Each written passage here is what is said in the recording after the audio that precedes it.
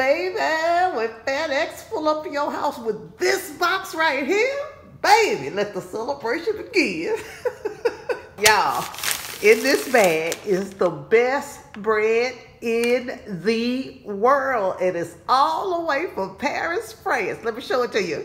There it is, y'all. This is real, for real, for real, for real, for real. Authentic sourdough bread right out of France. I credit this bread for helping heal my doggone gut, baby. This bread is so good. I'm so excited.